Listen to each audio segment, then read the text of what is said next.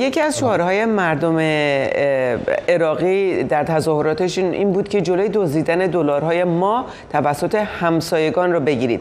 به غیر از ایران دیگه کدوم کشورها هستن و حجم قاچاق این پول در چه حدی بودی که آمریکا دست به کار شده؟ ببینید بخش عمده اون طبیعتا به ایران میره.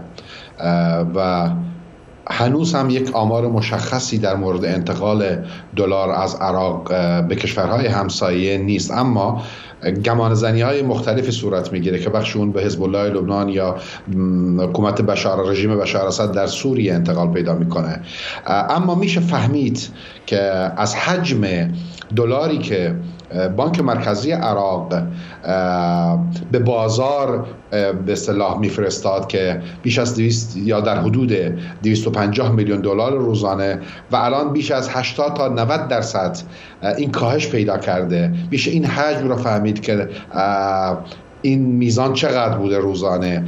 و با این مواجه هستیم که در رسانه های عمومی اینجا صحبت از این میشه که بیشتر این حجم دلار با اصالنامه های گمرگی گمرکی به اصطلاح جعلی در منافذ و معابر زمینی و هوایی عراق صورت گرفته. پس به این دلیل میشه فهمید که چندین برابر مورد نیاز بازار عراق به کشورهای همسایه و خصوص ایران دلار عراق صورت گرفته به این و این باعث شده که مردم عراق خشمگین بشن چرا که مستقیما بر زندگی اونها اثر داره. شما در عراق در هر منطقه ای به غیر از مواد خوراکی اون هم به دلار تأمین میشه و از خارج وارد میشه. شما حتی اگر یک دست کت و شلوار یک حتی اتومبیلی خریداری کنید موبایل خریداری کنید باید قیمت اون رو به دلار پرداخت کنید. آقای رحیم قادر ببخشید صحبتتون رو قطع می‌کنم.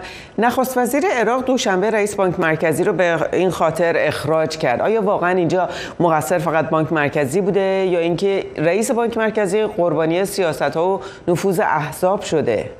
نه ببینید فکر نمی کنم چرا که اینجا گروکشی و از کشی های سیاسی بسیار دخیل هست.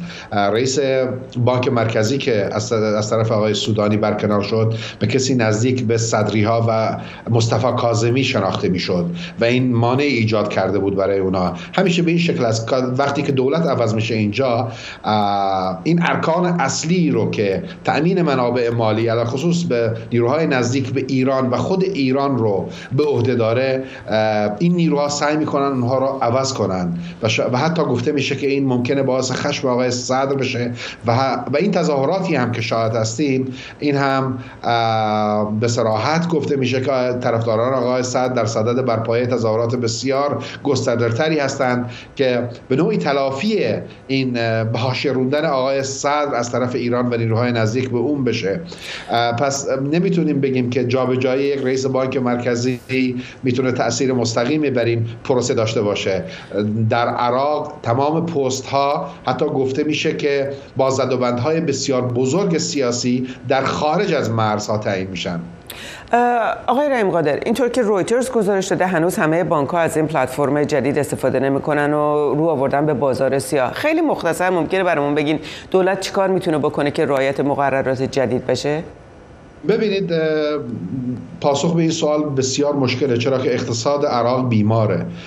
پس از یک طرف در دراز مدت به اصلاحات ساختاری عمیق احتیاج داره و از طرفی دیگه تکنوکرات ها در عراق به حاشیه رونده شدن. یا زیر هژمونی گروه های شبه نظامی گروه های تندرو و کشورهای خارج علال خصوص ایران قرار دادن. پس با این اصول بنده فکر می‌کنم شاید در کوتاه مدت کابینه های سودانی برای جلوگیری از سقوط یا فروپاشی دولتش سعی کنه به بعضی از شروط آمریکا به اصطلاح تن در بده و از حجم این انتقال دلار جلوگیری کنه و از طرفی با حمایت آمریکا و همچنین نزدیکی به کشورهای عربی بله. میزان وابستگی خود رو به برق و گاز ایران کاهش بده